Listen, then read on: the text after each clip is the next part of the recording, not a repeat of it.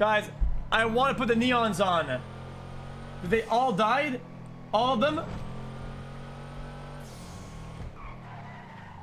I mean, I don't really have to, I don't have to metagame it. I can just do like this.